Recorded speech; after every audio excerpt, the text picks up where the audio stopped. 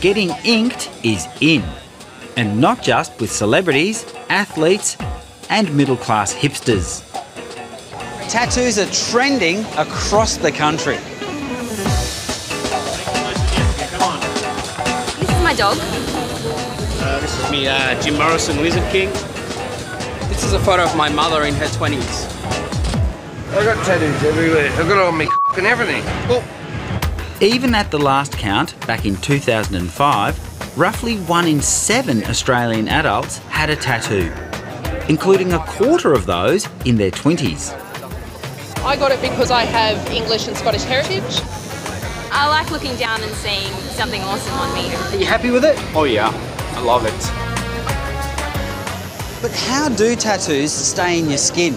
Are they safe? And if you change your mind, how easy are they to remove? Now, there's nothing new about tattoos. This 5,000 year old European mummy, known as Ötzi the Iceman, was found with 50 tattooed lines and crosses. In Ötzi's case, charcoal was rubbed into incisions in his skin. But techniques like piercing and puncturing also have long traditions worldwide. These days, electromagnets are used to drive the needles into the skin about 6 to 12,000 times a minute.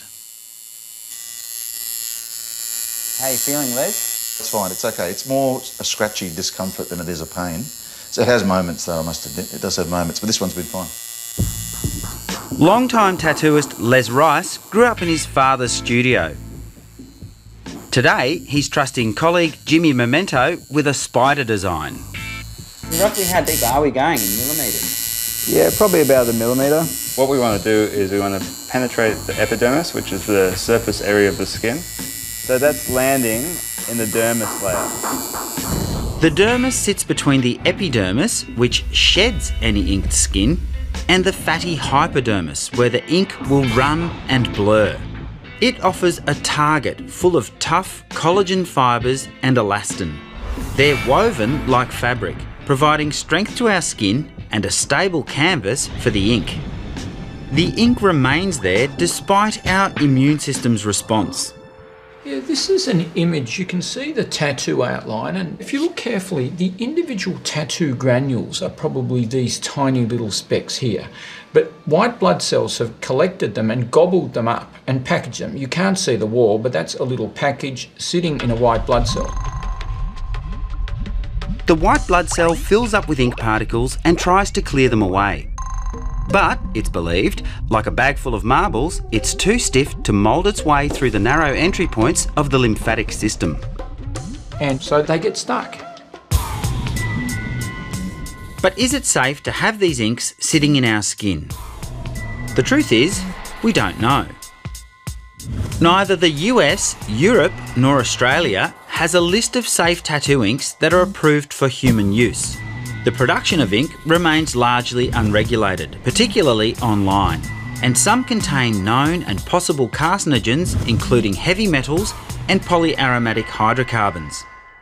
Well, the industry suggests it's about 5% of their inks, but other researchers have found up to 13 out of 22, so we're not sure exactly. A lot of different compounds are being used, and there is some evidence that they are carcinogenic or could be carcinogenic, but the world is carcinogenic. The smoke that comes out of a diesel is carcinogenic. Estrogen is carcinogenic. Alcohol is carcinogenic. So the question is not whether it's carcinogenic, but what the risk of this exposure will be to produce cancer. And to my knowledge, there are no published reports of cancer ever resulting from a tattoo. This is a potential risk. We don't know in the tattoo situation what the dose or the duration would be to cause cancer. One study found no evidence that tattoos increase your risk of skin cancer. But experts warn against the common misconception that tattoos can actually prevent such cancers. The perception by patients is that the tattoo is somehow protective. It's like a black shield, but that's a fallacy because the tattoo pigment actually sits lower. It sits below the skin pigment layer, uh, which is still vulnerable to ultraviolet damage. patients are surprised that there's a skin cancer within the tattoo. And the other issue is a late diagnosis by doctors. Even uh, trained dermatologists will find it a challenge to try to diagnose a changing mole within a black tattoo. The appearance of a tattoo isn't static. A suntan will tint the colour, while sun exposure will fade each colour at varying rates. The ink particles themselves also disperse as cells divide, die, or exit the body. How do you know what's going to look good in 20 years? The thing that will make a tattoo last is its really graphic qualities, which is black and lines, okay? Sort of a black linear element will always stand the test of time. When you see too many kind of subtle variations in colour, for instance, like a, a peach colour next to a salmon colour, what may happen is you don't know if the peach colour might turn darker over time, the salmon colour may lighten up. So what once worked can look awful in years to come. So you're saying that you do warn people like, you know, this artwork's not going to look like this when you hit 40. A perfect example is the writing on my arm. Yeah, Lots of people come in, they ask for really tiny writing, and I got writing on my arm really tiny, and it was really sharp when it started. And the whole reason why I got it was to sort of explain to people that it doesn't work. And when they're like, well, how old is he? Like, two years. Really, right. So you got that specifically to show people what happens. Yeah, that's half our job. You have to explain to them the biology of it. Some of them come to Earth, and some of them go and get it somewhere else. And, yeah, Okay. they can kick themselves in five years, you know? Right.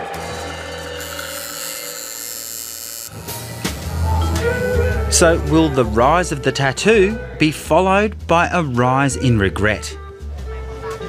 Sabina Kelley is an international pin-up model and celebrity tattoo judge on TV. She also has her own tattoo removal business in Las Vegas. Hard Rock Casino. How's business over there? Oh, it's great, especially with how big like the tattoo TV shows are. You know, everyone's going and getting tattooed, and a lot of them aren't really thinking about it. You know, some of them regretting it, and then going, ah, I'm gonna take these off. So Yeah, it's right. going good. Why would you regret them? No, I don't understand that. It's like a page in your diary. I wouldn't have them taken off. I haven't looked into it, and frankly, I probably won't.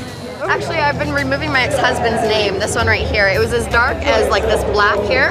It was, it was black and green and like yellow highlight. Okay. And this has been uh, three times. This would be lightened enough to get something over it. But I want it completely gone. So I'm gonna I'm gonna keep going. The industry standard for removal is the Q-switched laser. It directs short pulses of laser light into the ink. One of the first to use them in Australia was Dr. Philip Bekhor, a leading dermatologist and director of the laser unit at the Royal Children's Hospital in Melbourne.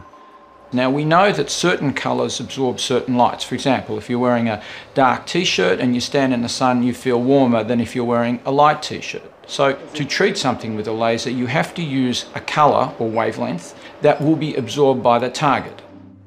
So we put in a wavelength that's highly absorbed by this black. In fact, the heat goes in so quickly that the bigger particles explode into just dust.